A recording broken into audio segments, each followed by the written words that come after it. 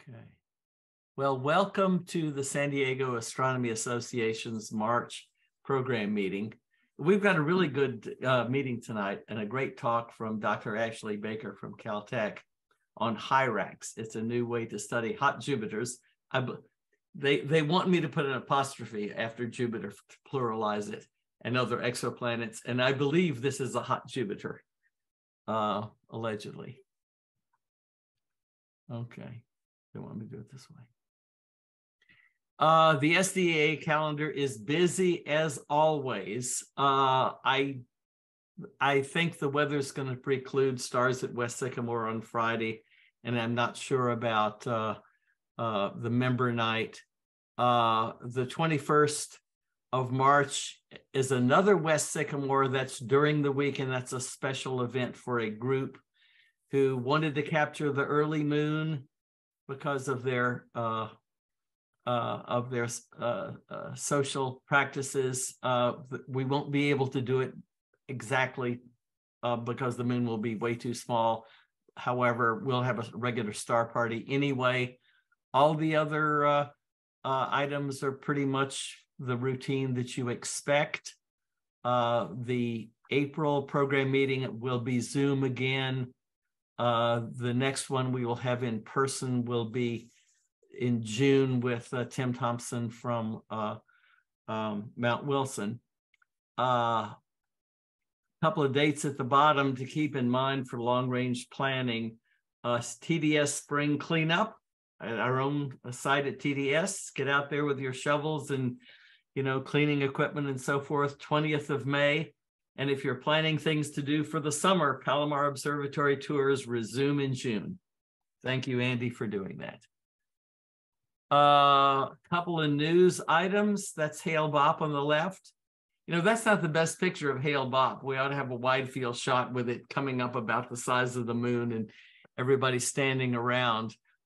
Uh, you know that comets are very popular with the public, but they're notoriously fickle. But however, they are talking about a first or second magnitude comet uh, that was discovered uh, by this uh, asteroid impact late last alert system in South Africa, and, and ZTF confirmed it uh, back in December. Should be at its brightest point between October 12th uh, and 19th of next year. So next year we very well could have an eclipse and a very bright comet. Uh, so it'll be really good for public outreach and traveling too. Astronomers have discovered uh, RR Lyrae stars in the far fringes of our galaxy about a million light years away, which gets it almost halfway to the Andromeda gal- galaxy. And uh, I have no idea why random stars would be up there, but it gives a whole new meaning to the intergalactic medium.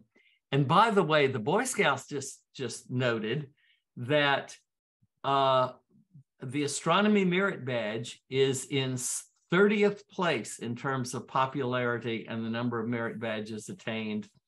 Uh, Eagle required merit badges tend to be at the top. So citizenship in the community, first aid, swimming are one, two, and three. And just in case you wondered, the lowest place is bugling at the 138th ordinal. I always like to show one of our amateur pictures. We're transitioning sites right now, repository sites, so it's hard to get something fresh. So this is one from uh, last year that Tim Lewis took at TDS. This is the Cygnus Wall section of the North American Nebula. And I really like images like this because it was taken with a one-shot color CMOS camera.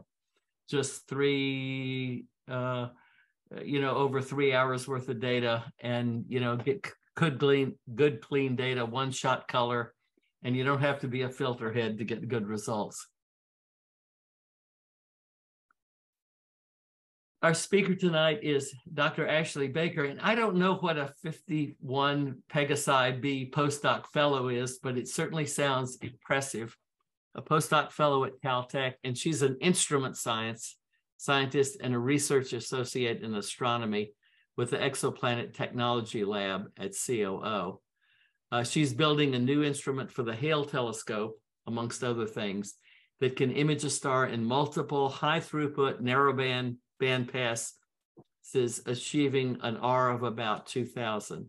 And that makes it ideal for atmospheric classifications of exoplanets. She earned her BS degree in physics from uh, Chapel Hill in 2014 and completed her PhD at the University of Pennsylvania. So she's an Ivy Leaguer in May 2020. So with that, let me turn the meeting over to uh, to Ashley. I would you like us to hold questions to the end? Um, no, I think if people have questions during the talk, feel free to, to keep interrupt. it open. So yeah. So respectfully interrupt and or put things in the chat as we go along. Thank you very much. Let me get this down. And it's all yours. Awesome. Well, thanks for having me. Um, very excited to chat with y'all today about this uh, project that I worked on um, as 51 Peg B Fellow, which is um, which is a fellowship funded by the Heising Simons uh, Foundation. Um, and uh, so I did my first two years at Caltech as a postdoc and then started recent as a fellow a postdoctoral fellow, and then started recently um, as a staff member in COO um, as an instrument scientist. And so I've been working on um, instruments uh, to study exoplanets for since my PhD, um, and still doing it and I really enjoy it. Um, recently, I've been working on a couple different instruments, um, the Keck Planet Finder and also another, which is, um, that's a radial velocity spectrograph for Keck 1. Um, and I'm currently working on uh, what's called HISPEC, which is a near infrared spectrograph to also do um, radial velocity measurements of exoplanets, um, but on Keck 2 and in the near infrared. it also has other many other uh, cool science goals um, other than exoplanet science. But but today I'm going to talk to you about uh, the project that I mostly worked on um, uh, as a postdoc and continuing to work on um, as an instrument scientist at COO, which is working on this instrument called HIRAX, which I'll uh, go way more into detail about. Um, but the idea of it is to study hot Jupiters and other exoplanets um, and to really test a different approach to doing this. Um, so, you know, exoplanets are stars or planets orbiting stars outside of our solar system. Hot Jupiters are um, Jupiter sized planets that are orbiting very close to their star, which makes them very hot. And they just happen to be um, easier targets for us to do right now, um, which is why uh, I find them interesting because we can actually learn things about them today um, with the, the size telescopes we have. Um, so this is a picture of HIRAX um, getting uh, loaded onto a prime focus at the Hale telescope at Palomar um, in last year. Um, and so, but first, um, just want to talk about the outline of this talk. So I want to first give some background on exoplanet atmospheres in case anyone here is not as familiar with um, how we how we do those measurements. And then I'll talk a bit more about the motivation by HIRAX, about HIRAX um, in this over, overview uh, to give you an idea why we chose some of the design decisions um, that make it unique and different from uh, kind of current instruments, trying to do this measurement from the ground.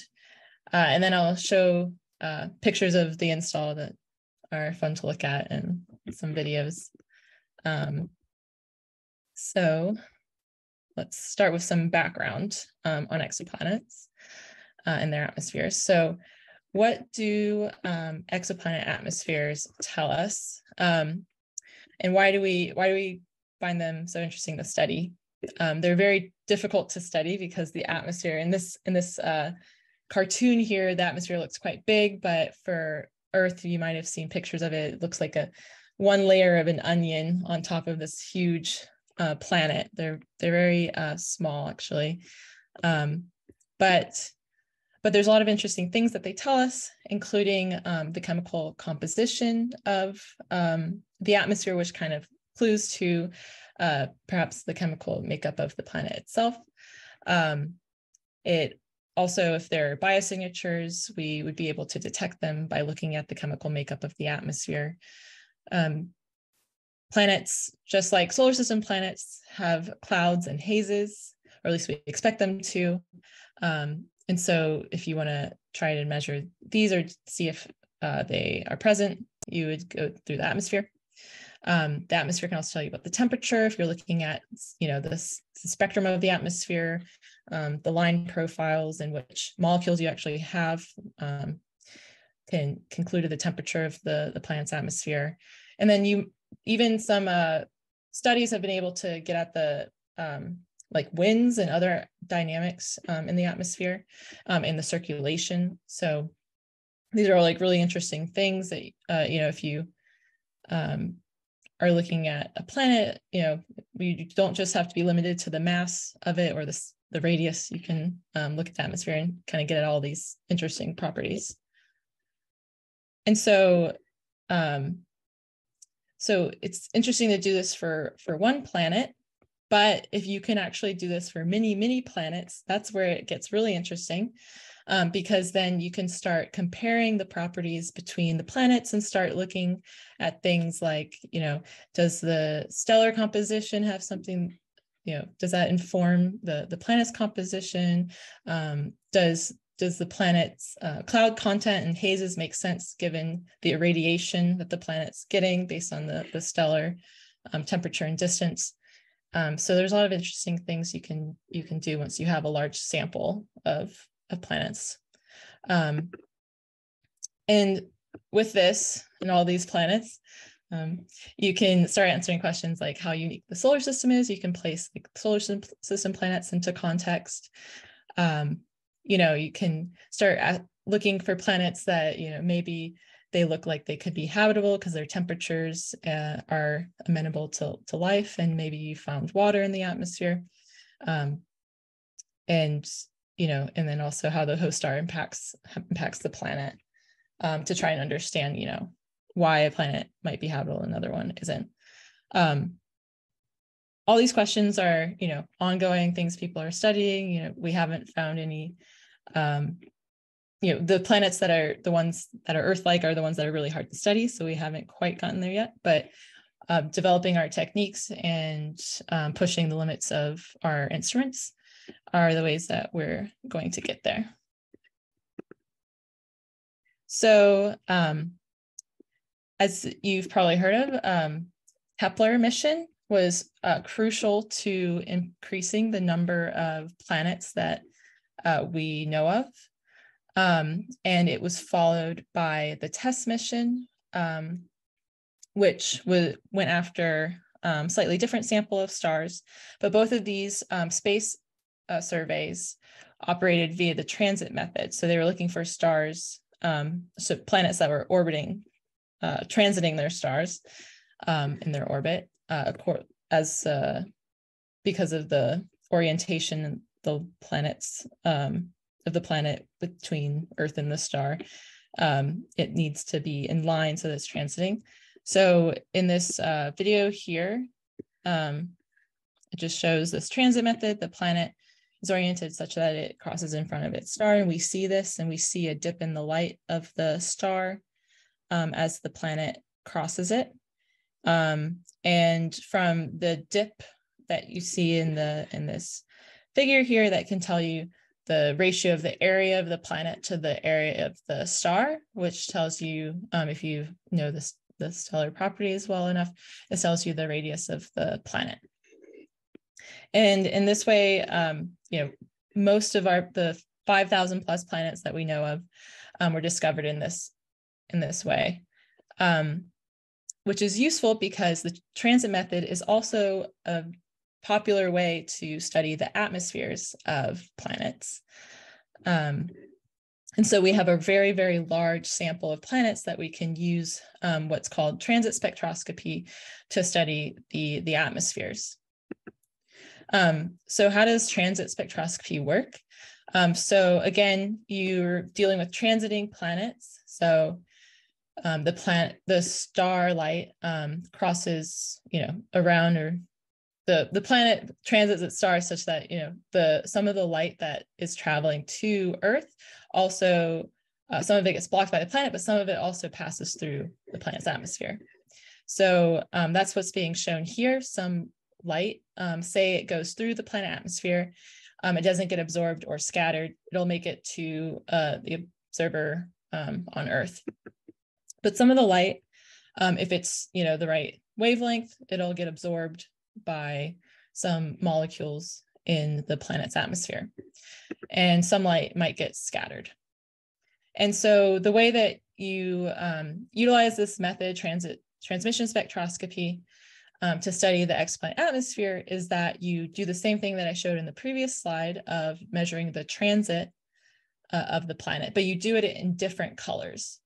Um, and so that's kind of what this diagram on the bottom left here is showing. Um, it's showing the planet at many points of its orbit and the resulting light curves that you get. And the dip in the light curve, remember, corresponds to the size of the planet. Um, but if your planet's absorbing light um, because its atmosphere is opaque at certain wavelengths, then the planet's going to look bigger at those wavelengths. Um, and then, uh, so that's true in like this blue color here. Um, but if the planet um, you know, if light just passes straight through the atmosphere because it's um, transparent at that wavelength, then the, the planet will look uh, smaller. And so the way that um, we actually do this measurement, you know, we need instruments to do this. So how does this actually work? Um, we what you first do is you observe the star as the planet transits, but you do it in different colors. So you um, so typically what's done is you disperse the light, you know, either you can use a prism or a diffraction grating, um, but basically you take a spectrum of the star as the planet's transiting. Um, and then using that spectrum, you can bin it up into different wavelengths um, and then create light curves um, like I'm showing here uh, in this that figure. Um, and so for each of each wavelength, you get a different light curve that you can then measure the planet's radius in, um, which corresponds to how much absorption is happening to in the atmosphere. So this is an example spectrum of an exoplanet atmosphere um, in the visible. And you can see um, this very strong sodium feature um, around uh, 590 uh, nanometers. And there's also maybe some hints of lithium and potassium. Um, but they're just plotting the planet radius as a function of wavelength here. Um, and then the way that we analyze it is that we fit um, fit the data with, with models to constrain the abundances of the elements. So um, in this talk, I'm be talking about high, talking about HIRAX, and I'm gonna kind of be focusing on the instrument side of things. Um, in terms of how this measurement is done.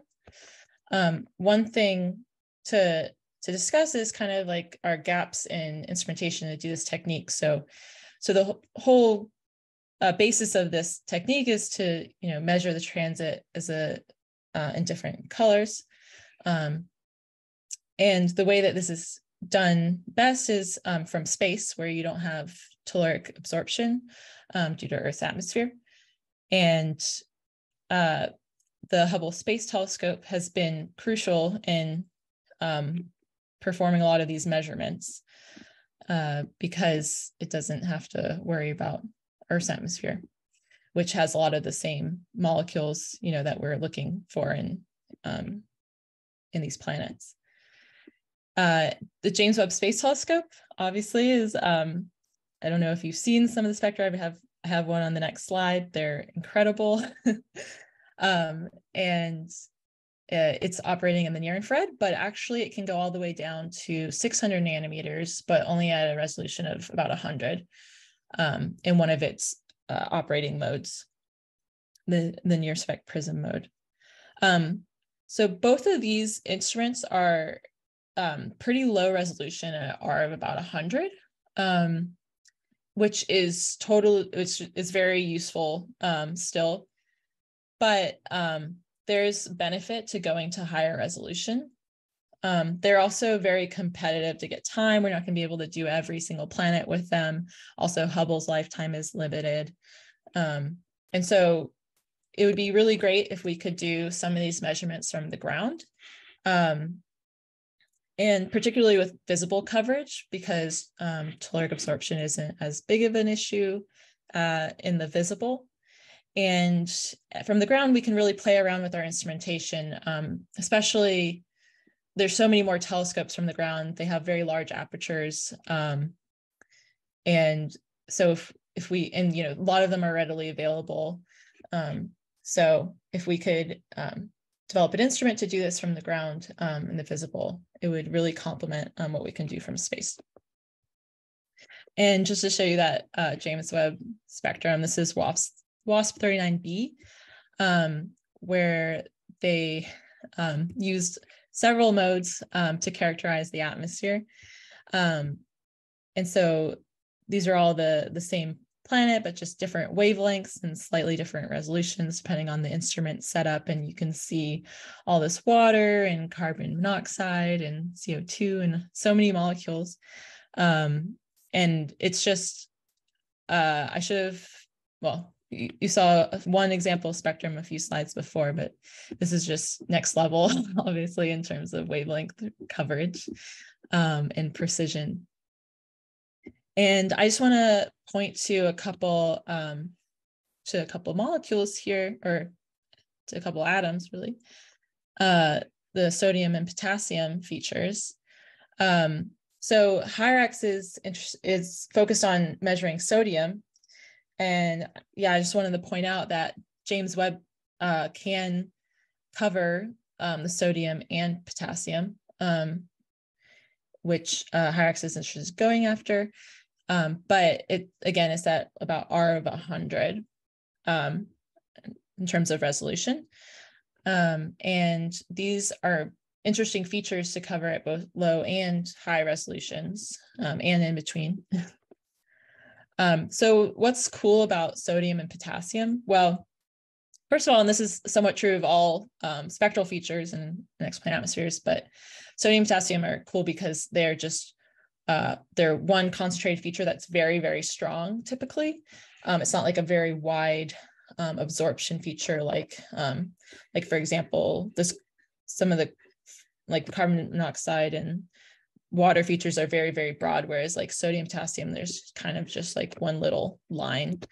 Um, uh, but you can um, get at the how cloudy an atmosphere is. Um, and so this is because, so for a cloud-free atmosphere on the left, um, what's being shown here is the absorption of the atmosphere as a function of wavelength. So just again, like the size of the planet, um, depending on how much the, the atmosphere is absorbing. And for a cloud-free atmosphere, you'll get the full profile of sodium, which is very broad due to pressure broadening um, in the atmosphere. So at very low uh, regions in the atmosphere, um, which is why the right hand axis says altitude because this is akin altitude. The lower you go in the atmosphere, the more the higher the pressure is because this is particularly um, found in like Jupiter-sized planets that have fairly deep atmospheres. And so the it's very high pressure at those regions. So you get a very broad absorption feature because you get you're getting like different um, velocities and um, so there's many different wavelengths um, at which the uh, sodium can absorb light at. And then in the core, um, the higher up you go, it becomes very narrow um, where the pressure is lower. So sodium will tell you about that. Um, and then also if there's clouds, you, you won't be able to see low in the atmosphere. After a certain point, um, you know, the clouds are basically going to look like the planet's surface to you. You're not going to really know the difference. Um, but um, in the case of sodium, because we know, because um, the so the width of the line kind of tells you what the pressure is, you can kind of figure out if it's um, if it's clouds or um, whether it's just the the planet's surface. Uh, another cool thing about sodium and potassium um, are that uh, we think that it could be a potential way to go after exomoons. Um, and the reason is there's um, well, there's one amazing example in our solar system, which is Io. Um, and in this picture here, this image, um, you can see this like torus um, around uh, Io. And this is a plasma cloud um, from uh, from a uh, so Io is very volcanic and there's a lot of outgassing um, and the the plasma that's being outgassed from Io gets sucked in uh, this torus and it gets influenced by the magnetic fields of Jupiter um, and it creates this huge um, region that you can actually measure um, with a much smaller telescope than what was um, done to do this um, this image here. But in this plasma cloud, there's um, there's a lot of different molecules. Like I think sulfur was the main one that was that's in this image here, but there's also a lot of sodium. and so we see a lot of sodium in, in exoplanet atmospheres.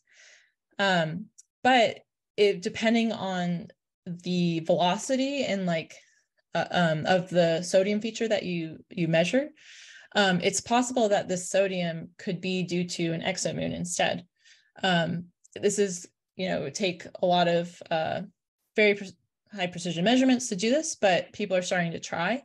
Um, and basically you use like uh, the perceived distance of the sodium signal um, and the velocity of it to infer that you know the, these velocities don't make sense if they're just coming from extended uh, the you know far out in the the planet's atmosphere. It makes more sense for there to be like a second body causing it um, and so this this makes it interesting as well especially just to to know what planets have it um, have sodium in their atmospheres and we can go do follow-up observations perhaps typically you want to do at even higher resolution um, to, to study this. Okay, so um, let me just check. I can't see the um, chat, so I'll just assume that um, someone can interrupt if um, the chat has any questions, but otherwise I'll move on to part two um, and kind of start discussing more about HIRAX itself. Right. So, um, given this background on exoplanet atmospheres and um, and how cool sodium is, um, and I'll just note that we choose to go after sodium over potassium because sodium's uh, typically uh, more prevalent in astrophysical bodies um, of varying kinds, not just planets. Um, so it typically uh, produces a stronger feature. Um, but the goal of HIRAX is to um, develop a filter-based instrument design to do our about 1500 to 2000 um, transit transmission spectroscopy measurements um, at Palomar Observing, Observatory using the Hale telescope. Um, and then using this instrument, we, we hope to classify the sodium presence in a population of exoplanets. Um, and the project was funded in 2021 um, by the Keck Institute for Space Sciences and Heising Simons in 2022. Um, it's just a small team of uh, Caltech and JPL scientists and engineer working on it. Um, and there's been a lot of work being done. We haven't quite got to the observing um, phase, uh, but first light, uh, we've done first light and I'm hoping to keep working um, on getting it back on Sky um, later this year. I see. Okay. For some reason I can't see my cursor, so I'm just gonna, oh, okay. All right, so the um, so the goal of HIRAX is to go after this sodium feature. So um, I'll go over the optical design in a bit, but light from the telescope goes to, HIRAX. And then at the detector, the goal is to have at least a few images of a star um, with um, bandwidths of about R 1500, which is about like 0.3 to 0.4 nanometers wide. Um, and so the picture on the top right kind of shows like the goal of what we want our optics to do. So it's like three images of the same exact star, but on one detector in three different wavelengths. And the idea is that these wavelengths, um, you can see in the bottom right figure, um, these wavelengths are chosen to kind of tile the sodium feature. So now I was showing sodium kind of looked like emission, but now it's being plotted as one minus the ratio of the area of the planet to the star. So it's like a dip, but the idea is the same that that's the exoplanet, um, the change in the exoplanet size as a function of wavelength. And our bandpasses are tiling that, that spectral feature to try and characterize it. Um, the hierarchy to do these measurements, you really need a lot of photons because um, the signals are quite small. Um, so we want the instrument to be very high throughput. So a lot of um, work went into making it high throughput. Um, and we also, it's also very important that there's no like systematic errors in, in uh, due to anything in the, the instrument. So you don't want to clip like one of the images of the star in one band. Um, you don't want to clip one and the or not the other, but you also don't want to clip all of them um, because then if you know the the light is changing um, from frame to frame as you're trying to measure the the transit very precisely, that's a problem. You also don't want you know detector effects, um, things like that. Um, so that's very important.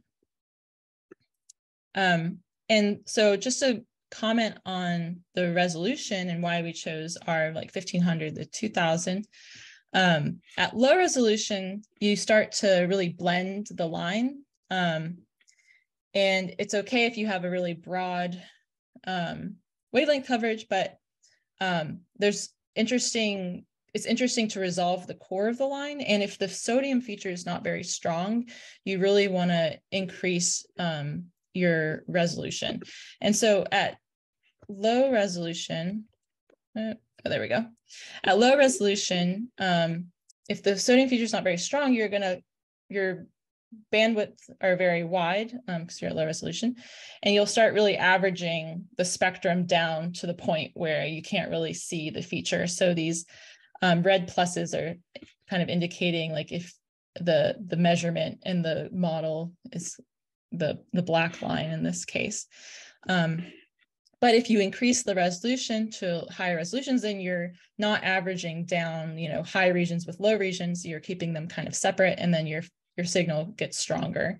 Um, and for sodium and potassium, these like these alkali lines, um, R of about 2000 is is ideal for this, especially if you're really zooming in around the core of the line. And so that's why we went for R of about 1500. Um, so then this kind of asks the question of, well, what instrument do you use to do this? And like, what's your design concept?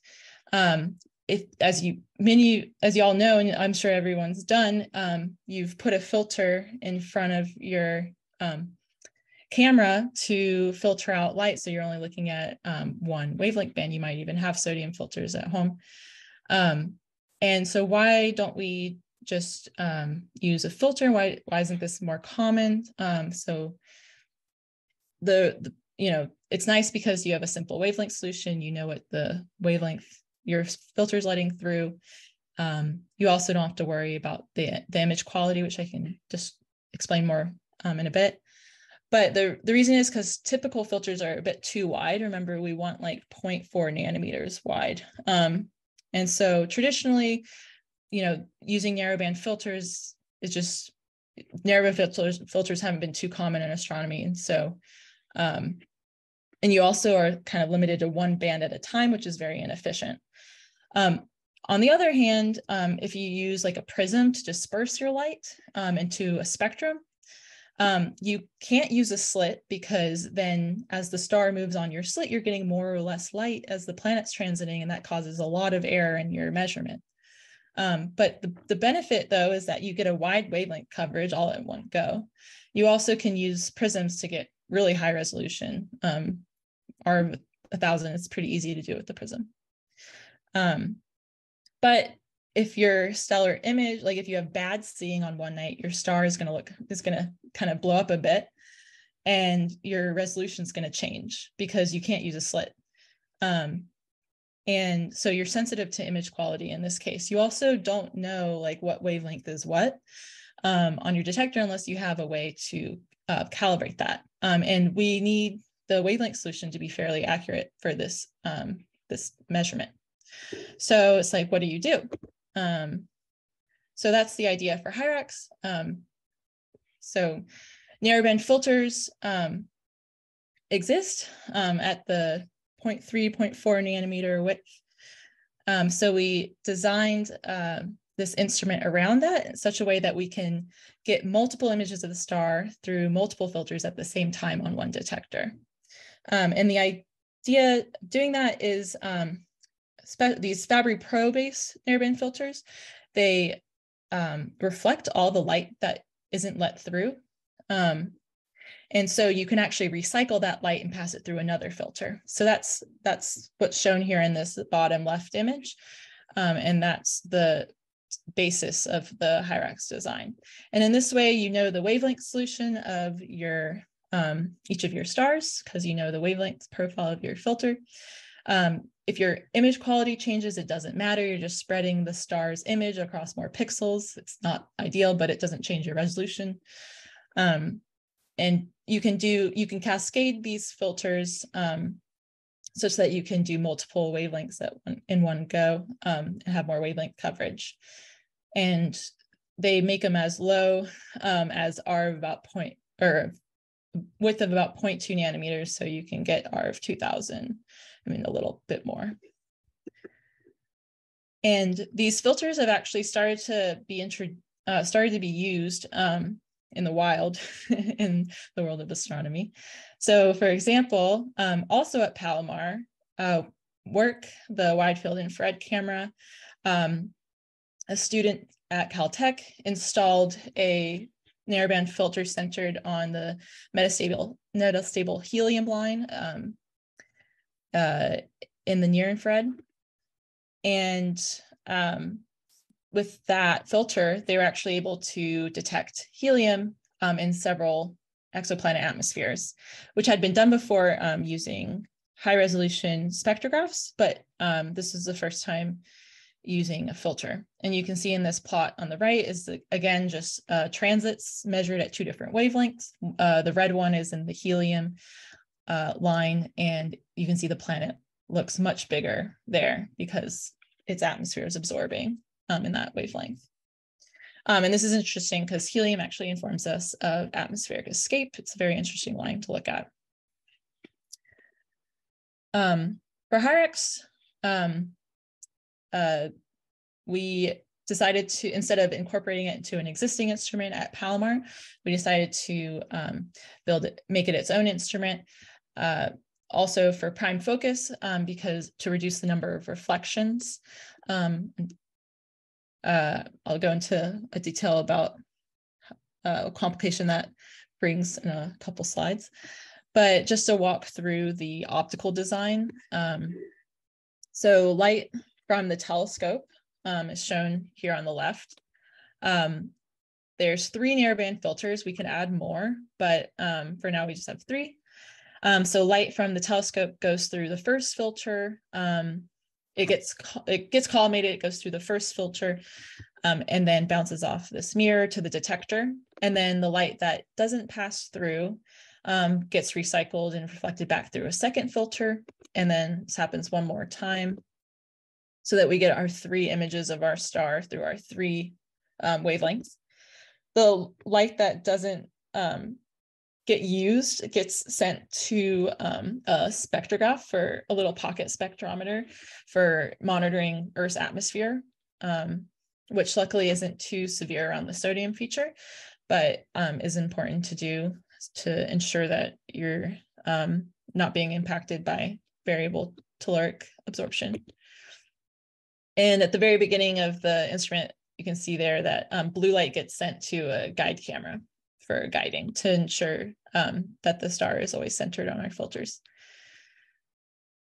And so one thing to know about these filters is that they have a, a dependence on the angle of incidence of light passing through them. So this little cartoon here tries to um, show that. So white light from the star on the left is passing through this filter here um, that's only letting through red light.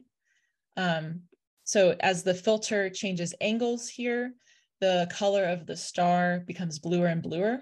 Um, and this depends on the index of refraction of the material um, and the starting wavelength. Um, there's a little formula there.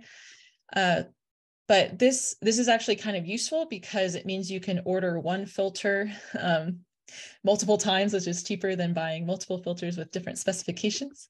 Um, not necessary to do that, but we just we did that um, here.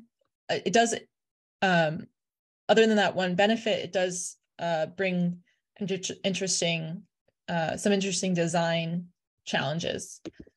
Um, the first one being is that you really start to care about any changes of angles going through your filter. So this diagram is kind of showing the, the problems of beam compression. Um, so uh, with a five meter telescope, you have to take all of that light and compress it down into your instrument, which for HIRAX, the optics are only like 1.75 inches wide. And so any angle at the front gets um, gets enlarged by that ra the ratio of like how big your optics are in your instrument to how big your your telescope is. Um, and so uh, so our field is about six arc seconds, which isn't very wide, but what it means is that um, a three arc second field of view, it turns into a 0.2 degree um, angle at our filters. So this is about, if you do the math, it's about 0.01 nanometers, which means that um, around our star at the edge of our field, the light actually becomes a little bit bluer. It turns out 0.01 nanometers isn't um, isn't too large, and this would mostly impact back, background subtraction. Um, so we're not too worried about it, but it was an interesting thing to, to worry about before we did the math. um, another challenge um, with these filters is uh, polarization splitting. So as you increase the angle of incidence of light um, on the filters, uh, you start to, one polarization sees a different shift um, compared to a different uh, polarization. So you can see on the very far right in this figure, which is showing the um, throughput of the filter as a function of wavelength. Um, the black line there on the right is at zero angle of incidence. So the pol both polarizations match up. You start to increase the, the angle go of the light passing through the filter. Um, and at 20 degrees, they start to kind of um, not align perfectly. And then all the way at 30 degrees, you're starting to see one of the polarizations um, really reduces um, or it causes they they see very different effects and then combined you get this kind of broader um, profile of your filter. So this kind of limits how what angles you can operate at to reduce this effect. Um, we were able to avoid it, but um, if you want to add more and more filters, there kind of becomes a, a limit that you reach.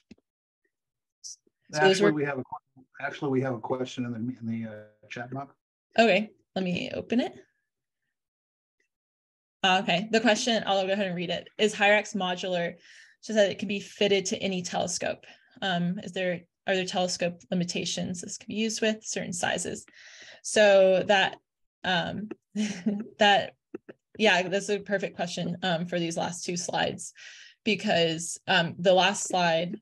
Let me see here kind of shows that um yeah the for spectrographs the larger your um, telescope is the the larger your instrument's going to be. That's kind of like a design truth um, because of this beam compression aspect um, and especially if you want to maintain the same resolution. So when i was first designing this instrument i was like oh this is great. Like we don't have that issue because it's just an imager.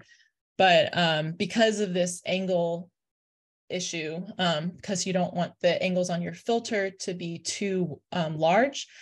Uh, it's you would have to slightly change the design um, as you go between telescopes. It gets easier the smaller the telescope is because um, uh, your your beam compression will be less. Um, but and you can see it's the related to the the focal length actually. So um, being at prime focus, um, is where the beams converging um, quickly um, has has a impact on this.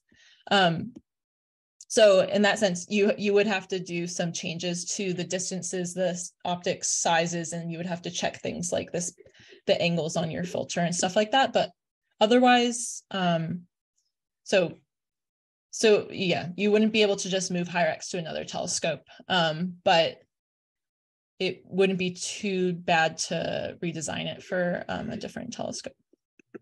Okay, if there aren't any other questions, um, so that kind of covers the the motivation um, and uh, some overview on the instrument. Um, so now I just want to talk about kind of like where we're at and also future work.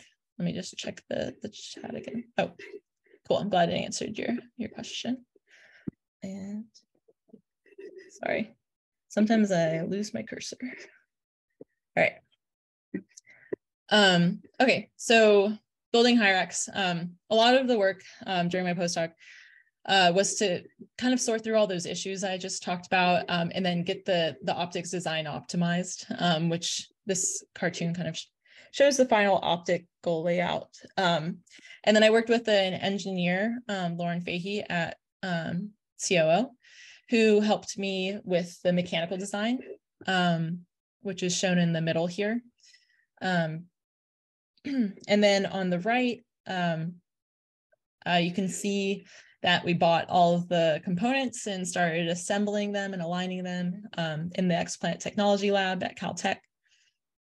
And um, from there, um, with, with this just rough alignment, we actually went to Palomar, um, went to the telescope for a fit check. Um, so it, we were going off of uh, CAD models on of the prime focus pedestal at um, which you'll see in a, a upcoming image here.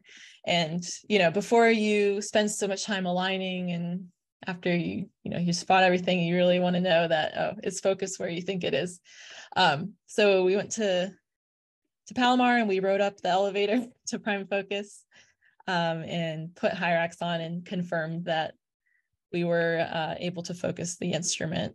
Um, so it's always a treat to go to um, to Palomar. It's such a cool place, um, and it's really nice to to build an instrument that, that goes there because um, it's yeah only a two hour drive and um, everyone there is like super nice. Um, so this is a video of HIRAX being lifted up. I think they have new crane uh, and spreader bar requirements at Palomar now. Um, so we'll have to change this. It's a little uh, wobbly, so that's something that we're kind of still sorting out. Um, doesn't have a high center of gravity. Uh, the way that we got it to Palomar was that we uh, loaded up a U-Haul and drove it down, which was um, kind of a feat. I definitely, next time I go to Palomar, it's going to be the last time and it's going to stay there because it's quite an ordeal to to get the instrument um, transported down there. Although it is, you know, for as far as instruments go, it's on the small spot on the small, uh, small side. So maybe I shouldn't complain. Um, so that's Lauren and Nem uh, um, at also at Caltech who helped a lot with the mechanical design and, and loading it. Um, Ashley, we've got another question here from Dave Decker. All right. What is the reference for the wavelength calibration when each of the filters generates a different light path to the same sensor?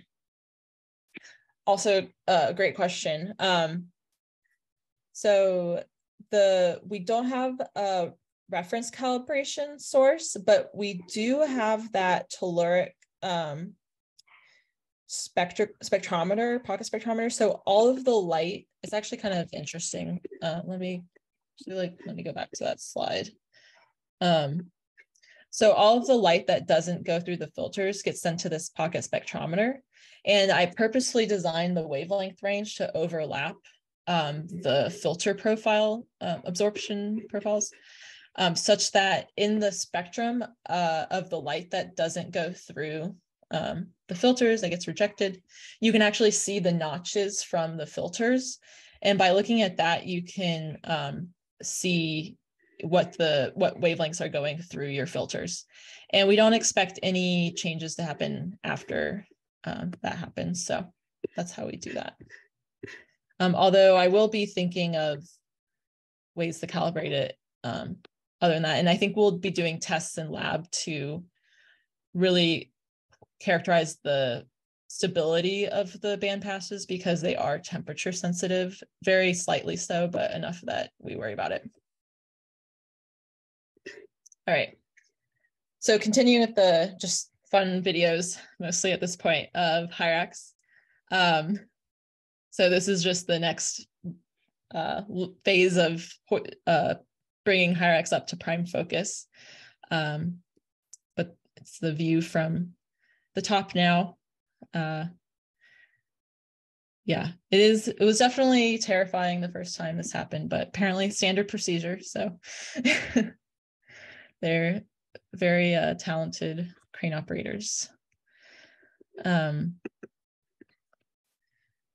so this is the pedestal um, that the uh, that HIRAX sits on. It has um, an adapter plate at the bottom here that uh, connects to it so that it's secure. Um, and then light from the telescope comes up and it focuses um, right here. Um, we actually have a, a um, field mask here at focus um, so that we can have a wider uh, wider than six arc seconds view of the sky when we're centering on the star. And then we can, we don't want to send field light from, you know, more than six arc seconds through the instrument because um, we don't want any uh, stray light reaching the detector. Um, so then we slide the mask back in and only let through six arc seconds in when we're doing science. Um, so here's it. Um, lowering.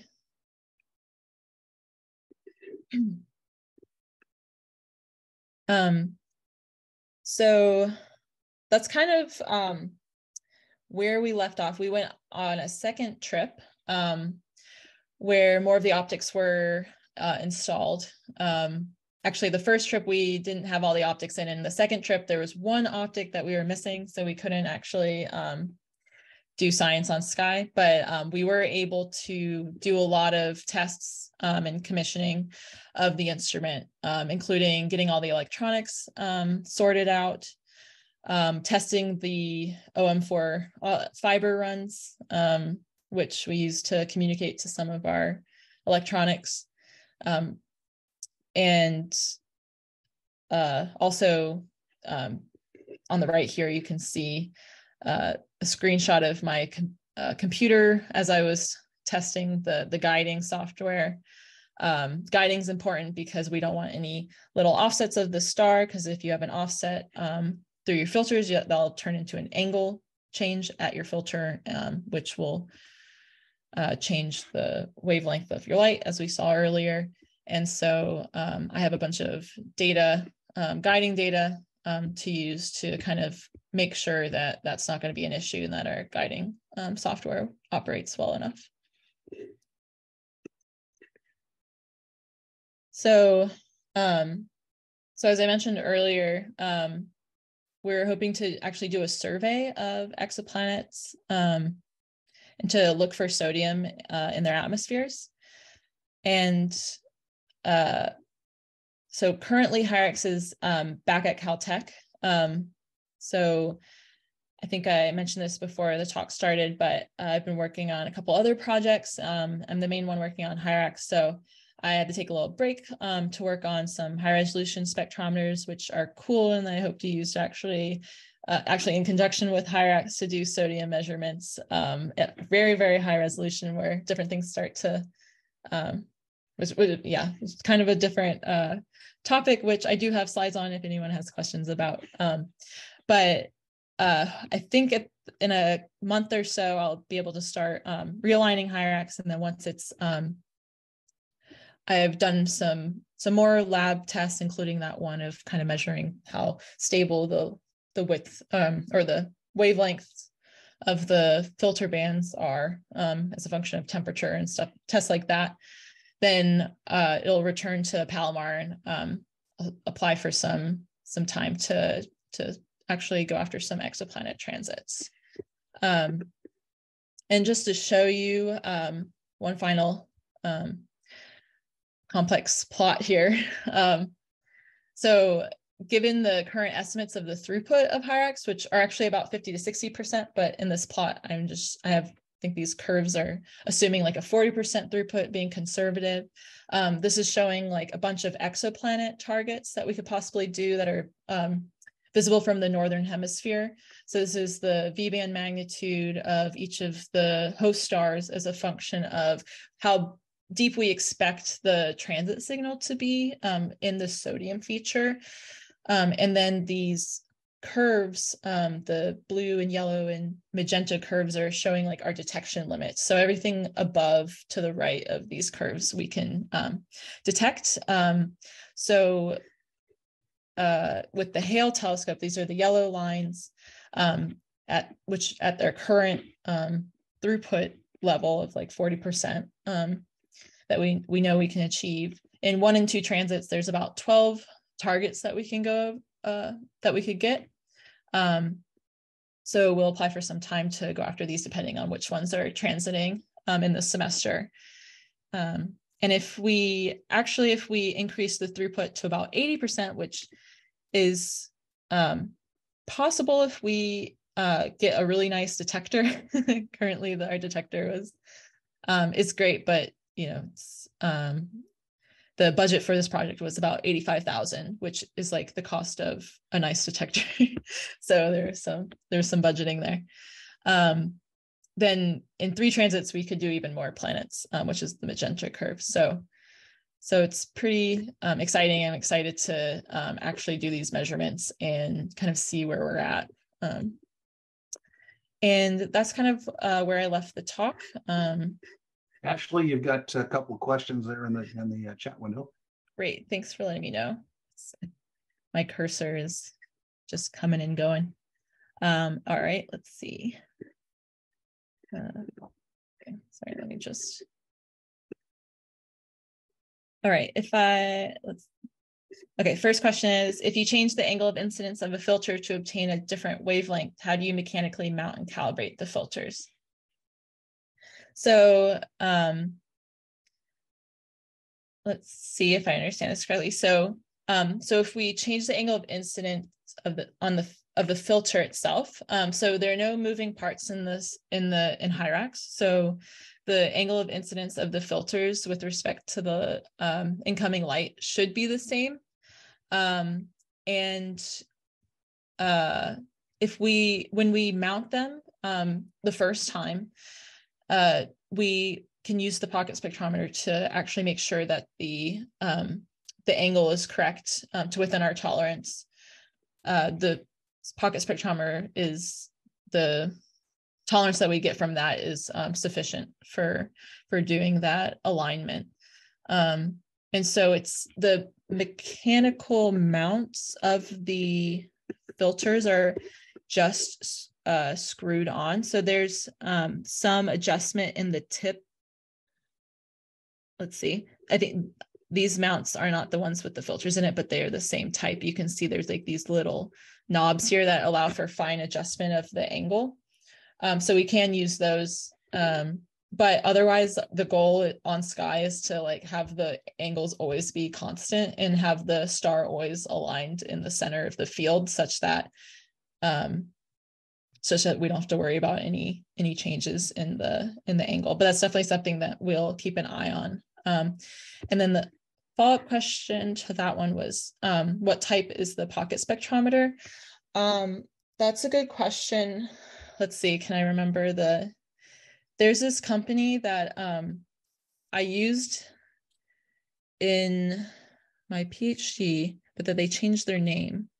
Um, I think it was used to be called Ocean Optics, but now they go by a different name. But they, um, it's like, I don't remember the specifications exactly, but it covers like 100 nanometers at like R of like 500 to 1,000 or something, actually fairly similar to um, HIRAX, but it's a spectrometer. So it doesn't do stable or precision photometry. Um, so its goal is to just measure the relative um, flux so we can get the depth of the telluric lines and the positions of the, the filters. Um, another question is, can you please explain how you thought of the design? Um, so in grad school, I worked with Professor Cullen Blake at UPenn, and it started as um, the whole concept of HIRAX started as um, an idea to go after oxygen um, in Earth-like planets, like in future missions, uh, like space missions, even. The idea is that oxygen feature at 760 nanometers is like has a really strong um, band head and where there's tons of absorption. But if you have like low resolution, you're like averaging that out and you're not maximizing the signal, which we saw before for the sodium feature. Um, but uh, you can't know, we're not really doing high resolution from space right now. Um, and so, and the idea was to like produce like the most efficient, like throwing away no as few photons as we can um, instrument at the right resolution for it. So that's kind of where the imaging based design came from. And from there, it kind of developed. And then I was like, you know, sodium's the perfect, you know, feature to do this with targets that we we have that are accessible to us now in terms of what we can actually characterize, um, given the the size telescopes that we need for these measurements um, to get enough photons. So that's kind of how the the concept evolved. Um, yeah, and then and then you start digging into things like you know how stable do things need to be and oh we have to worry about tellurics and then you start adding things to um, make sure you cover your bases to actually be able to do the measurement um, okay there's a couple more questions um, if you had five times the budget say how would you change the instrument besides a better detector um, another thing that's limiting the throughput of HIRAX is that we're using um, off-the-shelf optics. Um, so we are stuck with the AR coatings that um, that come on those optics. So uh, getting custom coatings is something I would use to spend um, to I would spend some more money on. Um, I would have more filters. Um, and I would design the filters so and have a bigger instrument so that and maybe space the optics out better. Uh, probably a lot of this this budget will go towards labor um, to get more filters and yeah higher code uh, better coatings and um, yeah that's and, and the larger the optics can be then you have you worry less about um, the beam compression factor. So also go to custom optics, which cost off the shelf optics, which we're doing right now, like they kind of come up to like two inches in um, diameter. So that's kind of what was setting our optic size. We went as big as we could. Um, okay, another question the data includes flux from the star, some of which passes through the planet atmosphere. Do you need to subtract the star flux from the filtered data to identify the sodium lines of the atmosphere? Yes. Um, you look, you measure the, the relative change in the stellar flux over time. Um, and you use that to measure the size of the planet. So you don't actually have to subtract out the stellar um, so this if assuming the star is not changing which is another question question um, to be addressed then you can just look at the relative changes in the star flux so you don't actually have to subtract the star because um, you're just looking at relative changes if the star is changing um, which is something that you do have to worry about um, sodium can be it's yeah it can change um, you would hope it wouldn't change during your measurement because it's over one period of time. Between measurements, maybe the sodium um, in the star could change. Um, so that's something that you would you would want to be careful about. Um, should I keep going? I'm enjoying. These are great questions. Um, sure, go ahead. All right. Um, would you like another? Oh, I worked in laser optics. Would you like another company to contact? They have done custom optics. Oh, cool. Um, I definitely like to be up, uh, knowledgeable of um, all the vendors to use for um, for optics companies. Think for HIRAX, we probably won't pursue custom optics right now because um, we don't have the budget. Um, but certainly for um, other instruments I work on, it's good to know um, what companies are out there. So um, yeah, if you if you have companies that you would recommend, I would be happy to hear. Um, and then can you see this instrument being used for other purposes?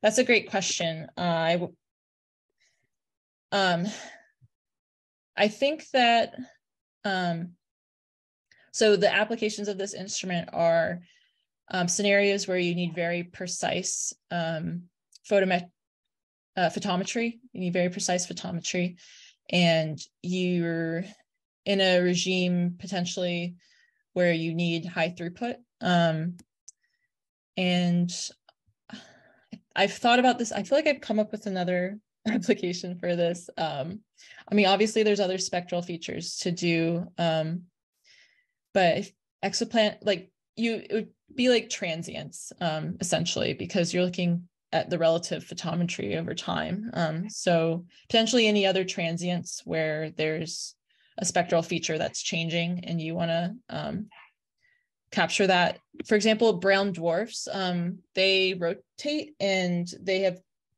it's been shown that their cloud content, um, if it's, you know, if it's banded or something as it rotates, you see changes in the flux um, in certain spectral features as a function of time. Um, so you could look for, you could try to measure that. One problem is you might not be able to go too narrow band, um, but you you also might have to go to the near infrared um, because they're very red objects. Um, so you might have to do some adjustments, but the concept might might work. At what age did you find astronomy your choice of science? Huh. That's a good. I, I like switching it up. Um, were your parents amazed at what you were studying in elementary school, middle school, high school, and college? You know, it's hard to impress parents sometimes. um, I wanted to do astronomy uh, when I was in high school. Um, I watched Nova a lot as a kid, and I definitely preferred the astronomy specials. Um, and kind of forgot about astronomy until I could take a class. My high school, I went to a boarding school for science people who like science. so we got to I got to take an astronomy class there. Um, and then just I knew I wanted to pursue physics and then I got into astronomy research in college. Um, so that was kind of my path. I was it was kind of I knew early on, which was it's helpful, I guess, because um, physics and astronomy are usually pretty loaded majors. You have to take a lot of classes. So if you start late, you would have to take an extra semester, which sometimes people don't choose to do. Um, but yeah, that was kind of my path. Um, what is the exposure time to get results with HIRAX and how many images do you get for a transit? Um, I do not remember what exposure times I need. So the stars themselves are pretty bright. Um, so even though you're um, you're still photon noise limited because you're going after really small measurements, um, you're typically looking at pretty bright stars. Um, so I think like 10 or you know 30 seconds ish to three minutes could be exposure times. The transits themselves last like four to five, well, two hours ish, and then you want to get like an hour before and after. So um, the there's definitely like a duty cycle there in terms of waiting for the detector to read out and then starting another exposure, but there'll definitely be like hundreds of images, um, you know, at least a hundred images to work with. Um, what information can you get by comparing the flux levels in the three bands? Yeah, so let me go back to that. Um, let's go to this image. So with three bands, um, our main goal is to measure the like presence of sodium. So um, the data, these X's or crosses here kind of show the simulated measurements that we expect to get um, for one transit of, um, I think one of the brighter um, targets that we would go after. And um, after doing like, you know, four hours transit observation um, and fitting the whole transit, et cetera. Um, this is, these are the error bars you would see. So with this amount of sodium, which we kind of expect for this planet, um, you would definitely be able to detect the um, the feature, and then you can fit it, and fitting it will constrain kind of like the abundance of sodium, um, and like perhaps the width of the sodium feature. But to really um, understand the planet's atmosphere as a, on a whole, you would definitely want more uh, wavelength coverage um, and so you can combine it with other um, observations to kind of understand like, okay, how, what does the continuum look like out here? Um, for example, uh, does it, you know, because you don't really know what's happening after these, these points here. Um, and so the idea would be to do like follow-up observations. Um, so yeah, so James Webb won't be able to go after every planet. And I think um, and low resolution observations um, kind of tell you the absolute abundance that you have in the planet. Whereas if you go to really, really high resolutions, you lose the continuum information because um, it for like a high resolution like fiber fed spectrometer you can't trust the continuum slope um, because you have things like the fiber coupling that are modifying that. So typically you normalize the continuum um, and you just uh, look for uh, look at the core of the lines and you can it's interesting because you can then measure the ratio of there's this is actually a doublet feature. You can measure the ratio of um, one of the doublets to the other, which tells you about um, um, the medium that's doing the absorbing, the yeah, the absorbing. Um, so, uh, so I think in the future, I think this is definitely like a novel instrument. So I think the main goal would be to do these measurements, see if they match our expectations, and um, we would definitely want to add like two more band passes or yeah um two more band passes like further out which should be doable um, with modifications to the design. Um, and then we would be able to tell uh, really constrain this feature much more. Um, have you heard of other researchers using similar technique? Has anyone asked for your design? Um, so there's another instrument. So there's the helium measurements that I mentioned. And they don't have reference bands. So with the reference bands, um, you can really nail down the um, the detection better. Because um, uh, when if you're relying on measurements from a different instrument at a different time, there's the star could have changed and things like that that would make you lose some confidence in in that comparison. Um, there's another instrument called Henrietta, Harry, I think, um, which I forget the details of that, um, but it's using kind of a similar concept going, uh, doing, well, it's using a, a dispersed design. It's not using filter-based design, but one thing that they're doing that I'm also interested in doing is using diffusers to um, uh, diffusers are optics that uh, blur the image of your the light so that it it looks a lot more uniform. Um, you don't get like this one peak and then a halo, um, which I mean you wouldn't really. Well, I guess if you average a seeing disk long time, then you would get something similar to that. But it it helps with the effects of seeing, which is like you know blurring your image as a function of time. Um, and keeps the amount of flux on each pixel constant to reduce systematics. So they're doing that. So we're kind of chatting um, and I think it's cool. They're designing their instrument specifically to do exoplanet um, transmission spectroscopy. And so we're kind of interested in each other's ideas and chatting, but but otherwise I haven't really um, come across. Oh, there was one more met one more instrument that did this um, with a one filter at a time, and they they could tune their filters bandpass. Um, and they actually got measurements of potassium and sodium that were pretty um, pretty like imp- impressive in terms of um, yeah how deep the features were um, but they haven't it was really hard to calibrate the instrument so they stopped and they didn't have reference bands also so they haven't really been doing many measurements lately um, are you confident that the mechanical stability of the optical mounts on the breadboard is sufficient to maintain the required alignment over time, temperature, and transport conditions? Um, I would say yes. Um, we did think about that a bit. Um, we obviously with the as the telescope's moving, um, you know, you're getting different gravi gravity vectors, and um, we have the the there's several brackets on the back of the breadboard. Uh, it's mounted vertically. Um, that's keeping it very stiff, and we added more things to stiffen it.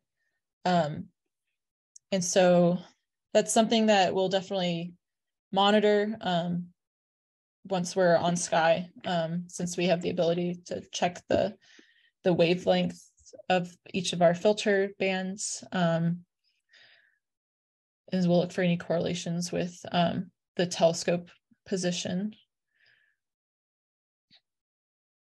Um, any thoughts how a group like SDAA could encourage more women to study science?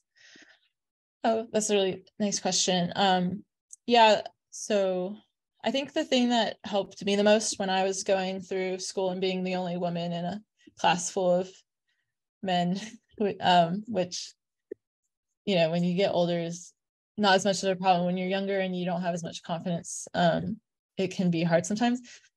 Um, just having like women represented and like um, seeing like having really strong women role models i think is what helped me a lot and just seeing people in positions that i was considering going into um, so so having women talk um at like yeah invite making sure to invite women um to sit on panels or um trying to encourage women to come out um and volunteer like um, to be role models um, to to younger women i think is uh, a really good thing to encourage more women to study science to show them that yeah there's plenty of us out there um, that they can do it too um, all right another question i caught i can't remember if you mentioned what HIRAX stands for are you aware there's another HIRAX ah, I meant to, I think I might have written it on a slide. Maybe I didn't. HIRAX stands for the um, um, High Efficiency Instrument for the Rapid Assessment of Exoatmospheres. And so I made an instrument called CAMAL in grad school that did um, trans, uh, monitoring of atmospheric water vapor. And so because of that, I wanted to do another desert animal. And so I was determined to make HIRAX work. But now I'm like, oh, I don't really like the acronym. so sometimes I don't spell it out all the time. Um, but that's what it stands for. Um, and I misspelled it on, intentionally. Um, so it was Googleable. And I did see at one point that there was another HIRAX, um, not to mention the animal. Um, so yeah, maybe I'll change it at some point. Um, you mentioned at the beginning that with spectral study, spectral studies, measuring biosignatures is possible. Is that possible now? And if detected, how likely is it that they are indicative of the presence of some sort of life on the planet? Yes, that's a great question. Um, so measuring um, rocky exoplanet atmospheres is currently, I would say, not possible. I think people are going to try it with James Webb. Um, so maybe it will be possible. Maybe they'll show it's possible. Um, it you need like currently James Webb is going to do like tens of parts per million measurements, I think at best. Um, and I think that you need slightly less than that to do um, rocky exoplanet atmospheres, but they could do like super Earth atmospheres, um, things that are a little bit bigger. And, you know, maybe those are um, habitable or have biosignatures. So I think if we do measure things like water vapor um, and methane and CO2, um, and measure the temperature of, yeah, measure the temperature, you know, try to quantify the temperature of the planet. Um, those things might all point to habitability, but in terms of an actual biosignature, um, we probably would want oxygen. Um, oxygen is a really big one. And um, although oxygen does have um, abiotic sources, so which is why you also want to make to measure other molecules such that the planet makes sense um, like it supports that the oxygen was arrived from a biological source um, um, but we're not quite there yet. Um, james webb isn't going to do a great job of measuring oxygen because it's so low resolution. It's going to really blur across the oxygen feature. It's not going to and the oxygen the signal is not going to be strong enough um, such that at that resolution you can really ca- characterize it. Um, we might need larger apertures in space to do that um, and so, and we already know how hard it was to get an aperture as big as the James Webb Space Telescope in space. So um, it was a huge undertaking, but definitely not out of the question. There future space missions that, like LUVOIR, that are um, planned to to be designed to do this. Um, so, so yeah. All right the questions have subsided. the questions have subsided. Are there any more questions? You know, this is just an outstanding talk. And you know, you can tell a lot of us are engineers and we just love the all the details of how you get things done and what does the breadboard look like and how do you mount things. Yeah, well, I'm I'm really the the questions have been really amazing. So thank you for uh, paying attention and yeah. I have a really quick one, a real a simple one. I'm just curious, right? This is fascinating, by the way, but uh, uh, where, where you source the exoplanet data when you're trying to identify which is a good candidate to, to do a survey on. I know that NASA has an exoplanet watch program. I'd be, do you, is there any like partnership there? Where, where do you get that data from? That'd be interesting. Yeah, um, there's something called the Exoplanet Archive, which I'm I'm sure you're familiar with. Um, uh, but if not, it's where um, you can get plots like this. Um, so it's out of IPAC actually from Caltech.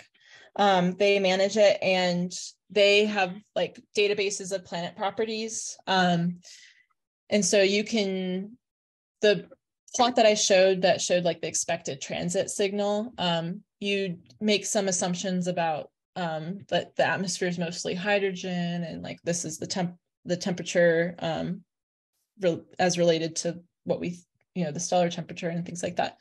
Um, so there's yeah just tons of data um, for all of these 5000 plus planets that you can just download um, and play with um, and make cool plots and stuff like that. So exoplanet archive. Gotcha. Thanks. Yeah. Well i just have to ask out of pure curiosity where is your lab on the caltech campus? Yeah so um let's see the picture that I showed of me. Um, that's in the basement of Cahill. So on California Boulevard, the mm-hmm. red building. Um, yeah, I know. I know yeah, Cahill. Yeah. yeah. So it's in the basement of Cahill. The basement. Yeah. Mm. Yeah. Where all the labs are hidden away. So if they ever have another meeting up in Caltech, we may come knock on your door. Yeah. Yeah. It's currently there. So we can, we can go to HIRAX and I can open the, the door of the the breadboard and show you. Cool. That's cool. Yeah. Okay, Are, we we've kept you a long time with a lot of good questions, but you've been very gracious about answering them. Oh, oh, it's been great. Yeah. Okay. Are there any, any final questions from the from the group? I guess not.